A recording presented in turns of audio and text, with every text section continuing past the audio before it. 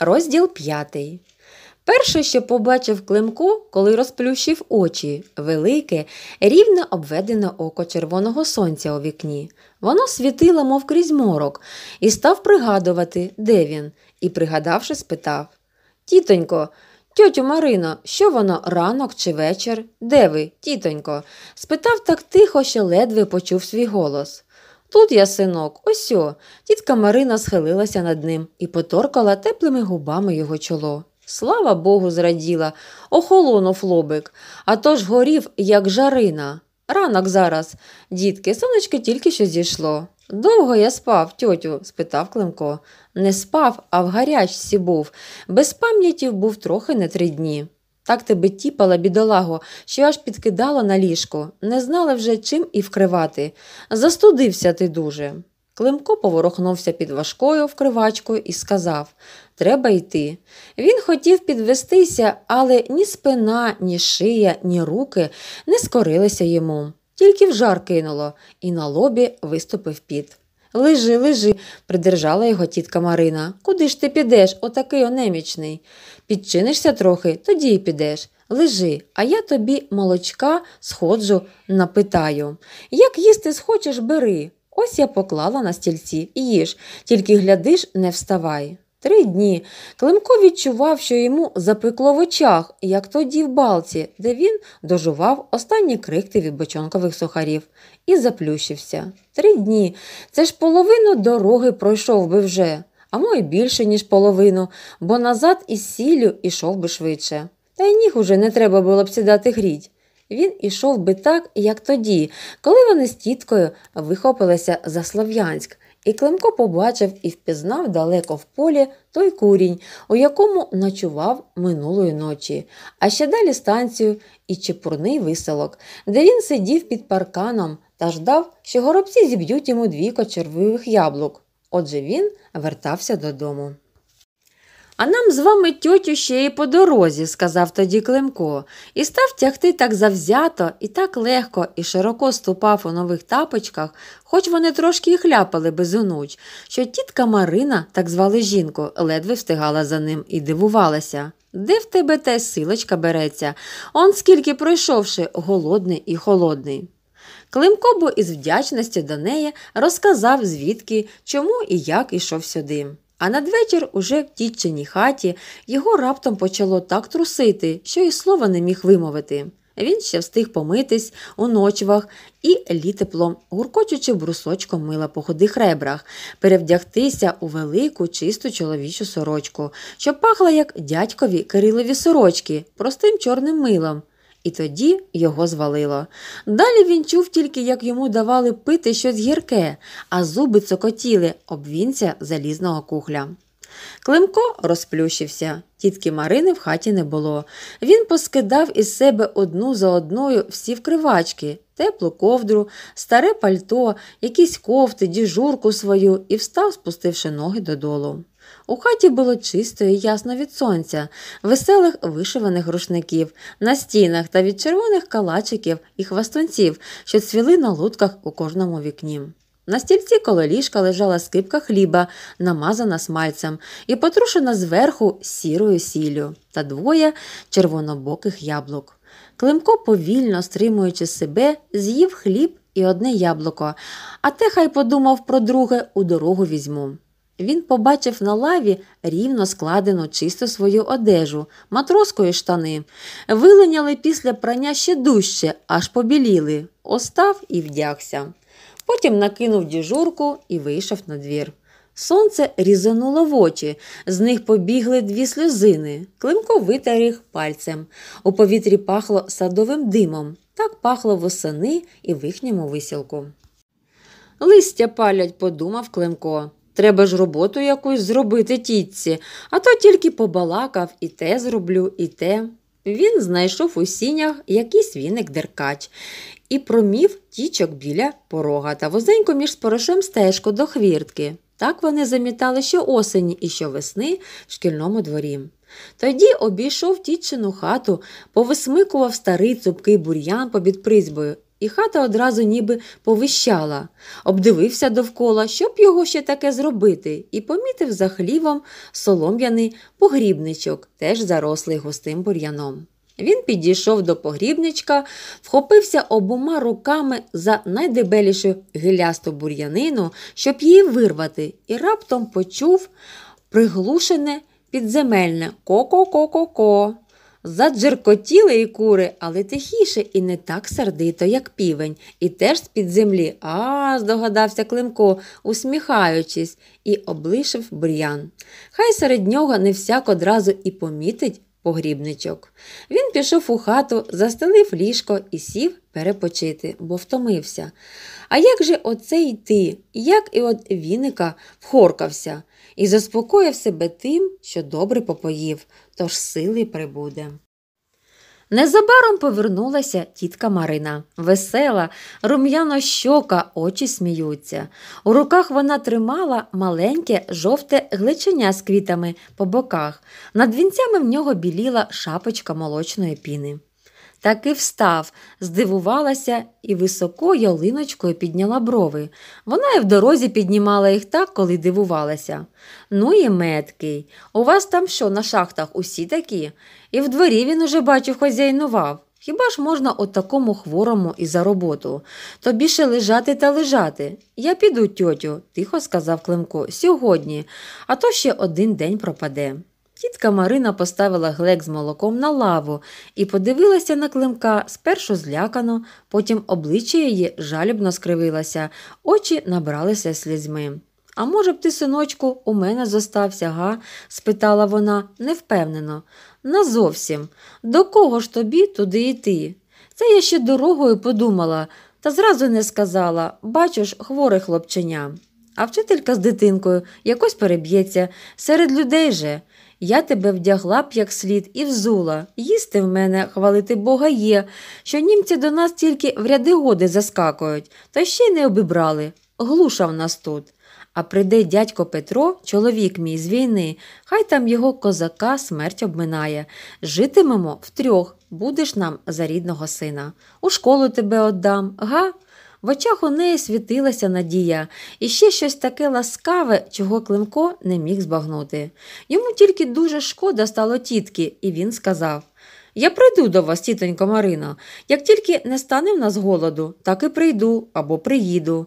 А зараз треба мені назад, мене там ждуть. Климко не знав того, що Зульфат щодня виходить за переїзд у степ і довго журно дивиться пригаслими чорними очима на дорогу через вибалки і узгірці, звідки має прийти Климко, що часто разом з ним виходить за переїзд і Наталя Миколаївна з маленькою Олею на руках. Тоді вони дивляться на дорогу вдвох із Зульфатом і мовчать, картаючи себе в душі.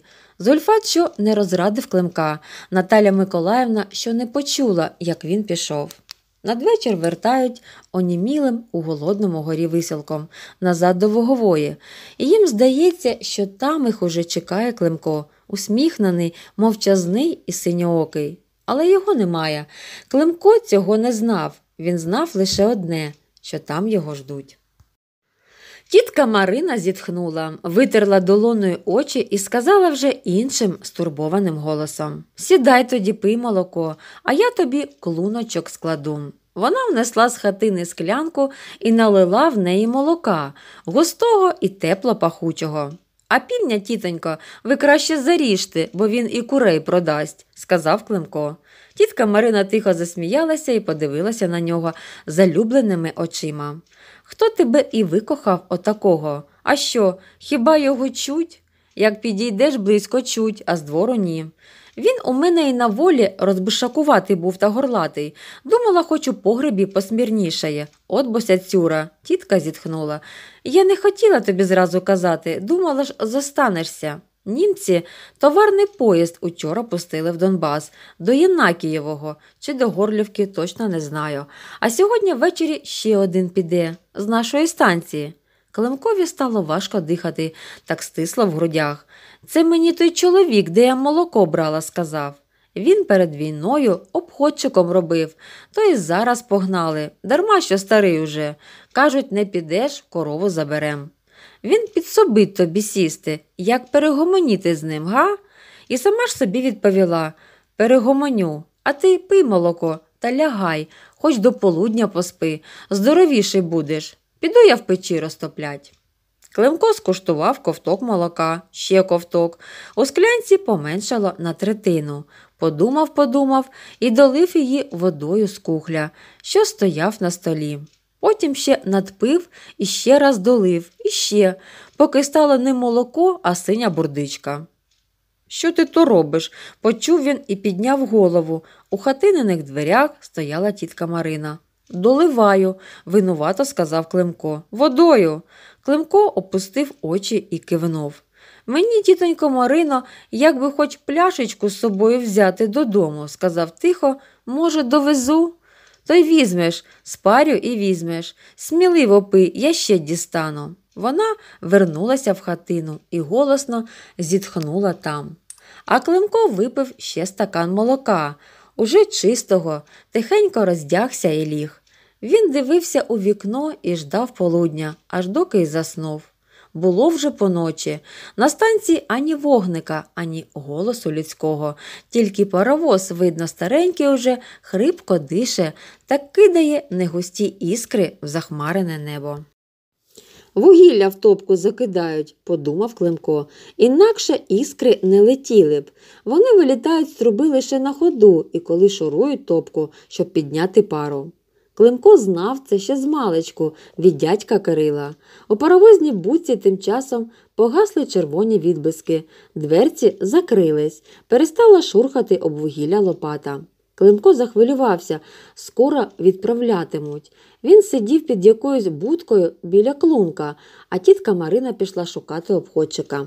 З кінця ешелону почулося тоненьке віддзвонювання молоточка. Воно блищало, а коли порівнялося з будкою, де сидів Климко, стихло, зарипіла черепашка під ногами. І Климко почув шепіт тітки Марини. А порожні вагони є, Гнатовичу? Вони всі порожні, отказав їй хрипкий старечий голос. Веди свого пасажира до другого з кінця, там уже є люди. Та й чисто з-під лісу вагон, тільки двері тихо очиняйте. Климко побачив маленьку чорну тінь, обходчика з довгоносою мастильницею в руці і знову задзвенів по колесах молоточок. Підійшла тітка Марина, теж як тінь зночі виринула, зашепотіла Ходімо, синочку, повезло нам дякувати добрих людей. Вона легко закинула клунок на плечі і взяла Климка за руку. Ось сюдою, поза вокзальчиком, ходімо, бо ще наскочимо на того виродка. Начальник станції тут об'явився новий. Біля передостаннього вагона вони постояли, прислухаючись. Потім тітка Марина легенько постукала в двері і сказала неголосно Свої, не бійтеся. Двері тихо відкотилися, утворивши чорну щелину. Може, підсобити, озвався зсередини чоловічий голос, і простяглася рука. Тітка Марина подала клунок, заплакала тихо, поцілувала климка, зросивши сльозьми йому щоки, і зашепотіла гаряче. Прощай, синочку, так хотілося мені тебе заставити в себе. Такий ти мені любий став. Як ішли тоді з города, як хворів, серця б тобі увірвала. Приїжджай, пішки не йди далеко, а приїжджай. Я не забуду вас, тьотю Марино, надломленим голосом сказав Климко. Я спасибі вам, я приїду, чесне слово. Паровоз тоненько свиснув. Тітка ще раз поцілувала Климка, шепочучи щось сама собі, і поїзд, брякнувши буферами, рушив. У вагоні пахло старою сосновою стружкою. На стрілках він погойдувався і рипів. А коли поїзд набрав швидкість, його стало метляти з боку в бік, і він уже не рипів, а стогнав. Чоловік, мабуть, той, що брав климків клунок, довго черкав сирником, але коли спалахнув вогник, Климко побачив купу стружок у кутку, і під ними душ п'ять жінок з якимись пожитками в мішках і кошиках. Жінки дивилися на вогник тьмяно блискучими, сміливими очима. Наші, подумав Климко, Донбасівські, і йому стало легко, тепло і затишно у цьому рипучому вагоні. А чоловік прикорив цигарку і сказав Климкові уже в пітьмі Візьми, підмости собі стружок під боки, то подрімаєш у дорозі. Нічого, я і сидячи вмію спати, бадьоро сказав Климко. Він сів біля дверей, притулився спиною до стіни вагона, що ходила сюди-туди, мов би приколихувала, і дивився в прочинені двері на небо. Низькі чорні хмари, здавалося, стояли нерухомо, але по тому, як вони час від часу засмолювали негустрі дрібні зорі, і як ті зорі знову ненадовго з'являлися, Климко здогадався, що хмари біжать. Поїзд йшов нерівно, то смикався і набирав шаленої швидкості, то гальмував так само різко, як і розганявся, то зупинявся просто посеред степу і довго стояв. А від переднього вагона біля паровоза було чути німецьке гелгекання. Тоді, в кутку, де сиділи жінки, нишкли, а чоловік гасив цигарку. Він курив часто, і в спалаках сірника було видно стареньке зморшкувате лице з костратими бровами. І знову поїзд рушав, помалу, навпомацьки, долаючи ніч та посвистуючи тоненько, хто знає до кого. Дядьків Феде так не їздив. Він пролітав станцію, як ураган, і Климко, зачувши його потужний лицарський годок, ще за семафором ледве встигав вискочити з барака, щоб помахати дядькові Кирилові, і побачити, як він усміхається йому і махає рукою а білява хвиляста чуприна в'ється на вітрі. То був веселий і мудрий паровоз. Він міг мчатися по-молодецьки, жбурляючи шапки сивого диму під вагонні колеса, а міг пішечком, як довга чорна щука, підкраститься під самісінький барак, поставити на землю дядька Кирила із залізною скринькою в руці, потім гучно затягкати трубою, мов би зареготавши, і задки швидко покотитися на станцію. Та було інколи і так, що Феде зникав кудись на цілу добу чи дві, а дядько лишався вдома. Найчастіше це траплялося у свято, коли депо, шахта, станція, клуб і школа сяяли вночі червоно-синьо-жовто-зеленими гирляндами, що гасли аж по тому, як сходило сонце, а з вікон у висілку грали патефони. І в бараці крізь тонкі стіни було чути з кімнати в кімнату святковий гомін. Дядько Кирило у білих, напрасованих брюках, білих парусинових черевиках і блакитній сорочці легко, перехоплені у стані шовковим поясом, одягав климка матроський костюм з безкозиркою і нові рипучі сандалі, брав його за руку, і вони йшли до магазинів по морозиво та цукерки смугасту ракову шийку.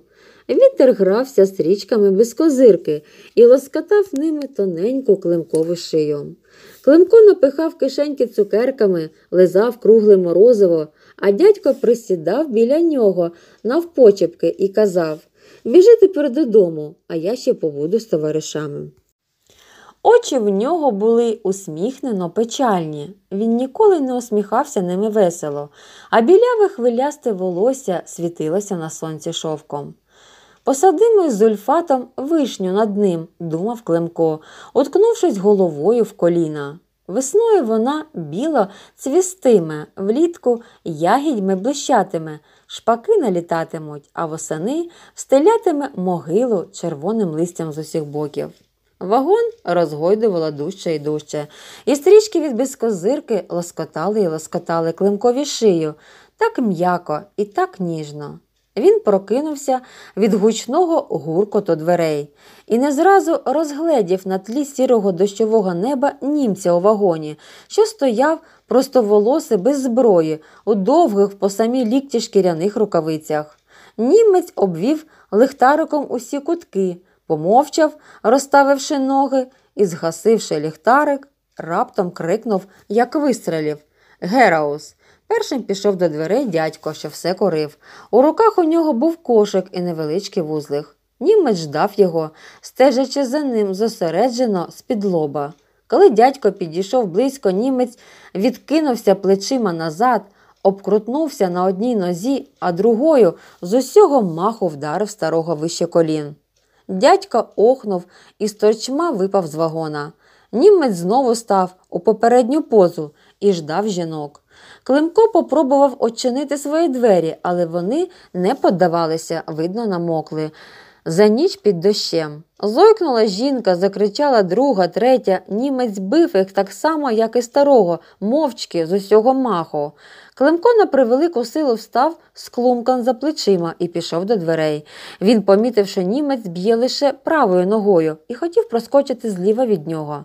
Німець скоса стежив за климком. Климко теж не зводив з нього очей. Не дійшовши до дверей кроків три, він зігнувся калачиком, аж клунок посунувся на голову.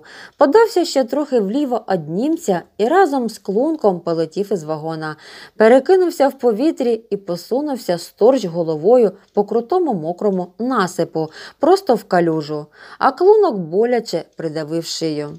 Німець таки достав його вже на люту кулаком у груди. Климков спробував підвестися, але в грудях і в коліні так заболіло, що він застогнав і поповзом, ковзаючи локтем по грязюці і тягнучи за собою клунок, вибрався з калюжі. Біля переднього пасажирського вагона стояв гурт німців. Вони курили і реготали. Коли до них підійшов той, що викидав гурт, обступив його і зареготав ще дужче. Скоро поїзд рушив. Климко розтер груди і коліно. Добре, що тітонька Марина дала штани, хоч були вони і великі, а то живого місця на ногах не зосталося б. Подумав він, підвівся і видерся на насип. Недалеко кілометрів за три він побачив станцію і впізнав її. То було Дебальцеве. Тепер йому лишалося пройти кілометрів 60. Климко повернув за акацієву посадку і побачив неподалік у степу старого з кошиком та жінок з мішками за плечима. Вони насувалися помало і дуже горбилися. Климко пішов слідом за ними, а мокрий степ гірко пах полином і тихо шумів від вітру. Низько над ним сунули хмари.